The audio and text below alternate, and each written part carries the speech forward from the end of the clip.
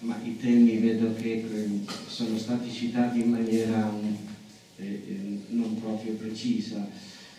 Diciamo che l'idea è partita dal sentiero di Francesco, anche il nome vuole essere significativo. Quel sentiero è importante perché l'ha percorso Francesco.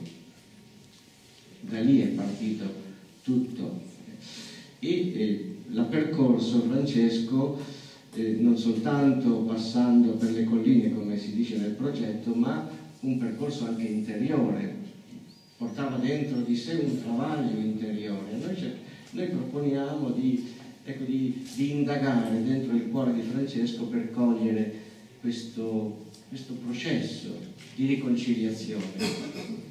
Quindi riconciliazione con se stesso innanzitutto, perché il gesto che ha compiuto di rifiutare la paternità a quel tempo era un gesto indecente per la società del tempo.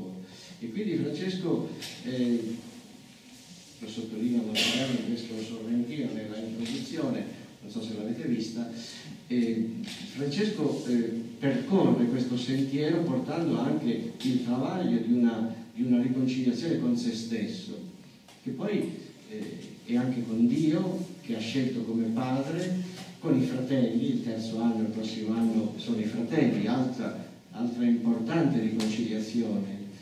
E adesso stiamo cercando anche il testimone o i testimoni che ci possano raccontare la loro riconciliazione. Se qualcuno di voi conosce eh, eventi di questo tipo potrete, potreste segnalarcelo. E poi la riconciliazione con la natura, cioè l'uomo nuovo che trova intorno a sé non dei nemici, ma delle creature che escono dalle mani di Dio e sono tutte belle. Quindi ecco, questo è un po' il nostro progetto e, e il nostro invito a percorrerlo insieme.